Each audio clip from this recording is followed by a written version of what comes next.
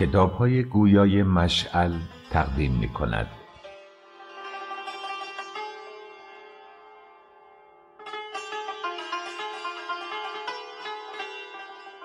تهران قدیم نوشته جعفر شهری اولین دوچرخه سازی ده دوازده دکان بالاتر از شمس الاماره یعنی مجاور وزارت دارایی فعلی مستراح عمومی خیابان بود و این غیر از مبالهای مساجد و حمامها تنها مستراحی بود که در اختیار مردم قرار گرفته بود و جنب آن دوچرخه سازی حسین آقا شیخ بود که تقریبا اولین دوچرخه سازی بود که در واقع کاری جز تعمیر کردن و کرایه دادن دوچرخه نداشت. دوچرخه سازی از مشاغلی بود که تا آن زمان در تهران بی سابقه بود و مردم بر آنهایی که بر این مرکب سوار می شدند بچه شیطان و تخم جنهایی می گفتند که از طرف شیاطین و پریان کمک می شدند و می گفتند اگر جز باشد کسی نمی تواند روی دوچرخ حرکت کند و دلیلشان این بود که می گفتند مرکبی که اگر کسی آن را نگه دارد خودش نمی تواند خودش را نگه دارد. چگونه می تواند یکی را بالای خود بنشاند و راه ببرد؟ مخصوصا که با سرعت یک نفر دونده هم طی طریق کند و از هر طرف و هر سمت هم پیچ و خم بخورد. پس این نیست مگر که خود آن رو روک را جنها ساختند و راکبین آنها هم بچه جن و بچه شیطان ها هستند؟ چون که اولین باری که این مرکب را به تهران آوردند و دو پسر بچه انگلیسی در میدان مشق با شلوارهای کوتاه سوار آنها شدند. پیرها و سالمندانی که به تماشایشان رفته بودند بسم الله گویان و لا حول گویان شگفت زده که گویی به تماشای قول و آل و پریزاد رفته باشند. برمیگشتند و آمدن آنها را یکی از علائم ظهور امام زمان می‌دانستند. باری این حسین آقا با شامتی غیر قابل انکار در مقابل آخوندها که هر پدیده تازه را تکفیر و تحریم می کردند چند دستگاه از آنها را خرید و در اختیار مردم گذاشت و چون این وسیله یا اسباب بازی به سرعت جا باز کرد و مورد استقبال جوانان و نوجوانان قرار گرفت یک نفر ارمنی هم دکانی به نام دادیک در میدانگاهی سفارت انگلیس اول خیابان منوچهری دایر کرد. و مشتریان شمال شهر را در اختیار خود درآورد تا کم کم که دکانهای دیگری هم بر آنها اضافه شد و عمومیت یافت. اگرچه در ابتدا این کار نوظهوری بود که جز یکی دو نفر از جان گذشته و متحور نتوانستند به آن دست بزنند و از تهدید ملاها و این و آن نهراسند و همچنین از وزینترین و چشمگیرترین مشاغلی بود که تا آن زمان به وجود آمده بود.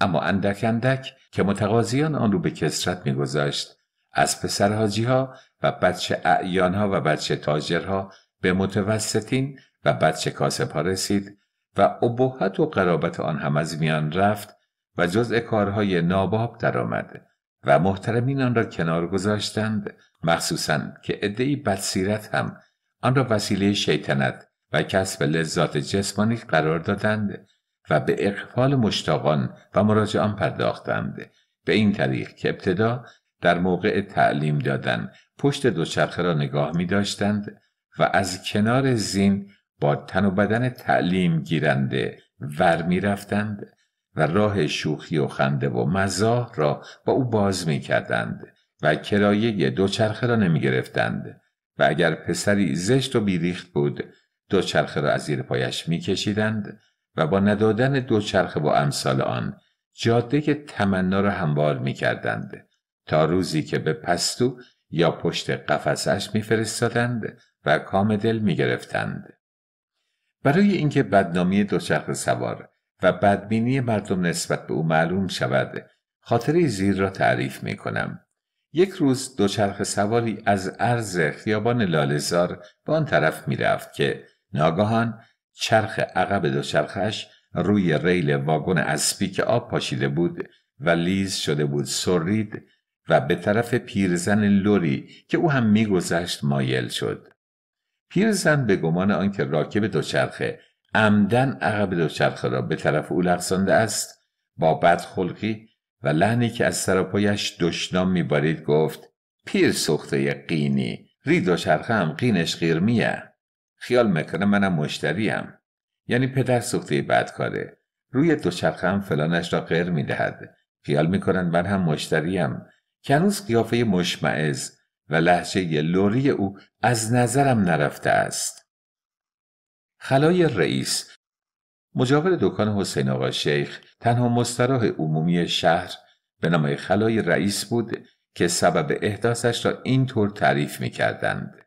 وقتی یکی از مأموران داروغه که جوان خوشبرورو و خوشندام بود مورد غضب واقع شد و بیرونش کردند. زن ثروتمندی به او علاقه پیدا می کند و می‌برد نگهداریش می کند. چند سباهی که از این مقدمه میگذرد جوان سر بدخلقی و بدسلوکی می‌گذارد و از بیکاری شکایت می کند و هرچه خانم در صدد انصرافش برمیآید که با وجود چنین خانه راحت و شامنهار مرتب و پول توجیبی و رخت و لباس نو کسب و کار برایش زاید است به خرجش نمی رود. دو پاره در یک کفش می کند که یا کار و مشغولیات یا اینکه خانه را ترک می کنم. ناچار خانم سرمایه در اختیارش میگذرد و مختارش می کند. جوانک مدتی گرد شهر در صدد کار برمیآید تا عاقبت محل مورد ذکر را که خرابه متروکی بوده می‌خرد و عمله و مقنی می‌گذارد و چند دستگاه مبال می‌کند و مقداری هم آفتابه برای آن تهیه می کند و هر کدام را به رنگی ملون می سازد و خود بالای صفه کنار حوز آن می نشیند و قلاب آفتاب پرکنی را به دست می گیرد و مشغول لوله اینداری می شود. وقتی خبر به خانم می رسد و او را می بیند که سهر از خواب بر می خیزد و مشتاقانه روانه می شود با تعجب از اینکه چگونه ممکن است کسی که آسوده ترین و محترم ترین زندگی ها را داشته دست به چنین شغل خصیصی بزند روزی به سراغش می رود. از دور به تفحص حالش برمی آید و با کمال شگفتی می بیند که بالای سکو نشسته و آفتابه برای مراجعان پر می کند اما به هر کس که دست به آفتابه ای می برد با تغییر و تشدد دستور می دهد که آن آفتابه را سر جایش بگذار و آفتابه دیگری بردار. یعنی اگر آفتابه سبز را برداشته می‌گوید آفتابه زرد را بردار. و اگر آفتابه قرمز را برداشته آفتابه پشت گلی یا سیاه را تکلیف می کند و به هر مبال که می‌خواهد برود به مسترا دیگری روانهاش می کند و یک سر با مردم ستیز دارد. وقتی شب می رسد و خانم موضوع ساختن لوله این خانه و جریان آفتابه را پیش می کشد جواب می شنود چون که خانم مطلع می باشد قبل از این نوکر داروغه بودم و اهن و طلبی داشتم کلاه پخ پخی شیر دار قبای قرمز و خنجر پر کمر. با سولت و صلابت تمام بالاتر از همه قدرت و حکومتی که در ابواب جمعی خود حکم او بالاتر از حکم سلطان می آمد می توانستم به همه کس امر و نهی کنم دشتام بدهم سیلی بزنم تحکم کنم. چه بکن چه نکن داشتم. کسی نبود که بتواند بالای حرفم حرف بزند. و با اخراجم همه اینها برباد رفت و روباه شل و کلاق پرسوخته ای شدم که حسرت یک کتازی ها و دورپروازی های خود را می‌خورم تا آنجا که کم مانده بود کارم به جنون و هلاکت بکشد. با خود فکر کردم تنها حرفه که می‌تواند در کارهای آزاد دارای چنان ابهتی باشد که هم مشمول عواید باشد و هم آقایی و اربابی و ریاست و حکومت و کت خدایی و بزرگی و بالاتر از همه فرماندهی و امر و نهی داشته باشد همان لوله اینداری است که چندان که کسی تنگش گرفت و دستی به تنبان و چشمی به آفتاب آشفته حال پا به لوله این خانه گذاشت هر حکمی را گردن می‌گذارد و در هر مقام و منصبی که باشد پیش لوله ایندار کوچکتر از کوچک می شود این همان تالی شغل نوکری داروغ است که می توانم خود را با آن اقناع و ارضا کنم. و آتش اشتیاق تحکم و تشدد و امر و نهی را فرو بنشانم. تا این اواخر خلای رئیس کار راه اندازی می‌کرد و با آنکه چند پشت لوله ایندار عوض کرده بود هنوز مردم موقع آفتابه برداشتن لوله ایندار را رئیس خطاب می‌کردند و در برداشتن آفتاب از او اجازه می‌گرفتند. لوله این خانه یا مستراهای عمومی؟ چون حرف از لوله این خانه شد توضیحی هم درباره مسترهای عمومی بیاوریم آبریز همگانی را که آن هم فقط در مساجد و حمام ها بود لوله این خانه می گفتند و سبب نام هم آن بود که قبل از وجود آفتابه از گل چیزی شبیه آن می ساختند و می پختند و به کار می بردند. لوله این خانه محوطه وسیعی کنار یا خارج مساجد بود که اطراف آن را مستراح می ساختند و وسط آن حوزی می کندند و بلندی صفه مانند کنار حوز می ساختند و لوله اینها را کنار حوز ردیف می کردند و یک نفر بالای بلندی می نشست و متصدی پر کردن آنها می شد ضمنا مراقبت می کرد که دو نفر به یک مستراح نروند. بلندی لوله ایندار تختگاهی بود که اتاقکی نیز برای سکونت وی در آن ساخته شده بود و چوب بلندی که سرش قلاب داشت ابزار کارش بود. که به گردن آفتابه میانداخت و با یک چرخش آنها را پر می کرد و کنار حوز می گذاشت و این کار از عهده همه کس بر نمی آمد و ممکن بود آفتاب را به داخل حوز بیاندازند. نشیمن های مستراح آن دهانه های وسیع هولناکی بود که بالای انبار آنها قرار گرفته بود و انبارهایشان زیر زمین های عمیق و متصل به هم بود که زیر نشیمن ها تعبیه شده بود و حفاظ آن برای جلوگیری از سقوط تکه چوبهایی بود که بر درازای دهانه نشیمن قرار داده بودند. در دهشتناکی مناظر ممکن با بویی تند و افن همراه نجاسات و جانوران قوتور در آب که همه کس را رغبت و جرأت استفاده از آن میسر نمی‌شد. محتویات انبارها پیش فروش شده بود و سال یک بار تخلیه می‌شد و حمل آنها به این صورت انجام می گرفت که ابتدا خاکستر فراوانی وسط محوطه لوله این خانه خالی می کردند و میان آن را حوز مانند می کردند و کسافات را در آن می ریختند و به حال خود می گذاشتند تا زمانی که رطوبت آن کاملا جذب هوا و خاکستر شود و قابل حمل باشد و چون لازم بود که این کار جهت خوش کردن مدفوعات در هوای گرم و فصول بین بهار و پاییز انجام شود بوی بعد آن همه حدود و محله را اشباع می کرده و ناخوشی های گوناگون که از آن به ظهور و بروز می رسید و چه بسا افرادی که به بستر بیماری و سینه گور می کشید. زمین و در دیوار مسترا هم کمتر از انبار و سطح لوله این خانه آلوده و ملوث نبود. چه بیشتر مراجعان آن که قاطر به پرداخت یک شاهی پول لوله اینداری نبودند بدون آفتابه با مستراح می رفتند. و در برخواستن هم جهت استجا چاری نداشتند جز آنکه با انگشت خود را پاک کنند و به دیوار بمالند و یا خم شوند و موضع را با تیزه ها و لبه سکوی آن ازاله کنند و تمیز کنند و کوچک اندام ها که پایشان به اندازه دهانه نشیمن از هم باز نمی‌شد و اطفال که از طرز سقوط در مسترا در گوشه و کنار آن روی زمین می نشستند و غذای حاجت می کردند.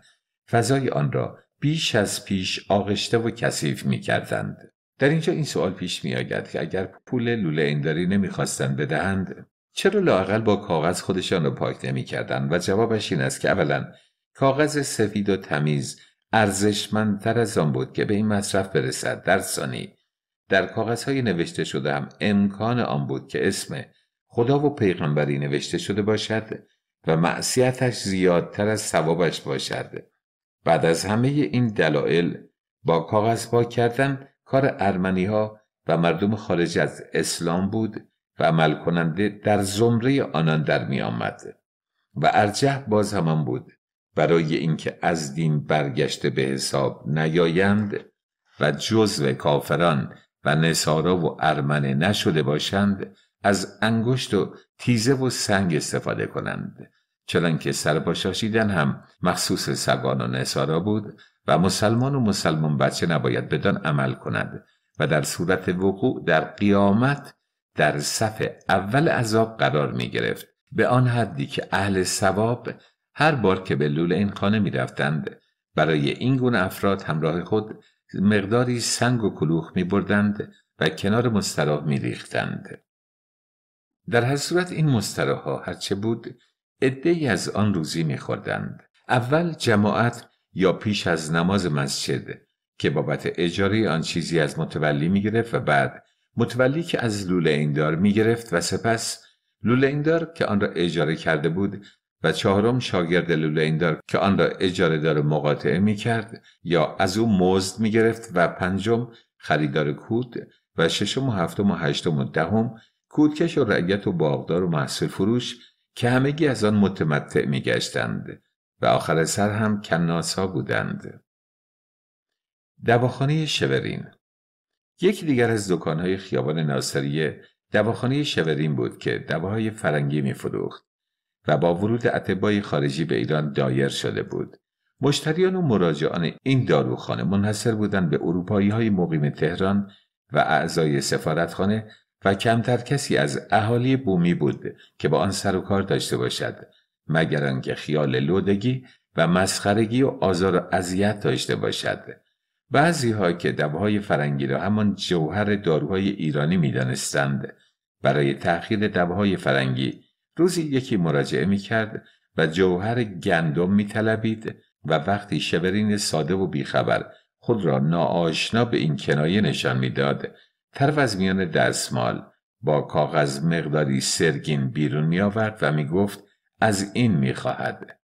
روزی کپسول ریش دراز از او می خواستند و پشکل بز را نشان می دادند و یا قرص قنباره خمپاره از او می خواستند و وقتی دربارهش تحقیق می کرد صدایی از خود در می آوردند و پا به گریز می گذاشتند. از جمله این کارها یکی هم شرطی است که کسی می بندد تا وسط دواخانه او رفع حاجت کند و می آید از شبرین نفت می خواهد و چون شبرین می گوید ندارد و جواب رد می دهد می گوید به دواخانه ای که نفت نداشته باشد باید و تومانش را پایین می کشد و وسط دواخانه غذای حاجت می کند که بعضی می گفتند این شرط بندی برای سه مرتبه بوده.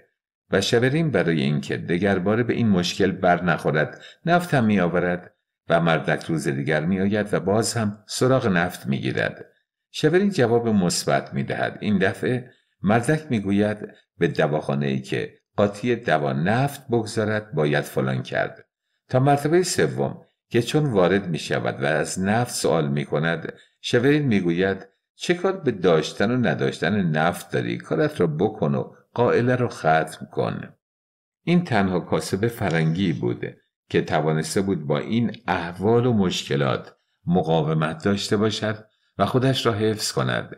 اما در عوض توسط همین کارها که با او و داروخانهاش می کردند و برای همه تعریف می کردند در اندک زمانی چنان معروفیت یافت و شهرت گرفت که از جمله سرشناسترین مؤسسات درآمد. چنانکه شاید با مخارج سنگین اعلان و تبلیغ هرگز به آن شهرت نمی رسید.